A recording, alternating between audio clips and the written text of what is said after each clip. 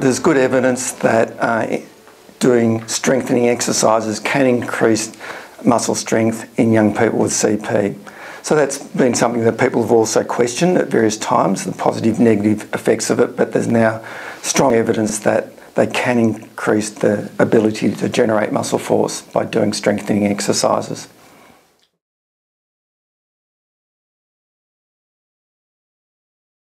The main trial um, that we've done was a randomised controlled trial um, looking at progressive resistance training done in a community gymnasium twice a week for 12 weeks and compared that to usual care in a group of 48 young people with cerebral palsy.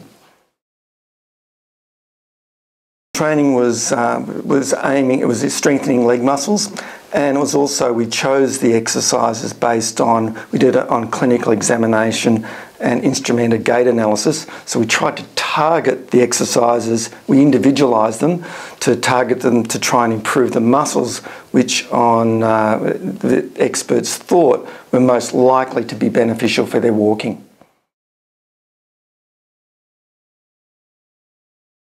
The main findings were that uh, our participants, compared to the people who didn't train, compared to the control group, people who did progressive resistance training got stronger. So their targeted muscles got 27% stronger, and um, but there was no carryover into any objective measures of mobility. The other thing we did find though was that there were improvements in participant rated mobility. So there was this discrepancy between anything we measured objectively and what we found when we did participant rated measures. So a number of participant rated measures of mobility and also we did qualitative analysis when we asked them how they felt about the program and that, that was overwhelmingly positive. They told us they were walking better.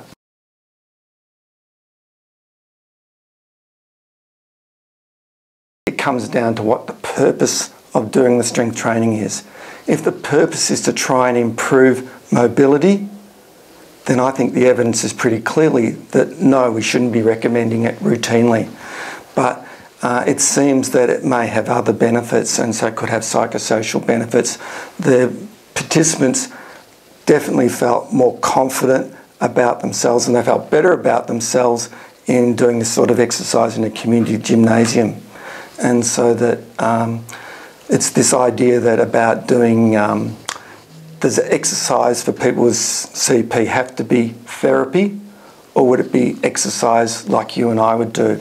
And so just as, you know, we would argue that it's perfectly, it's a really good thing for people with CP to go to the gym and do exercise, to be with their friends, to feel good about themselves. But they shouldn't expect that doing that helps them to walk better.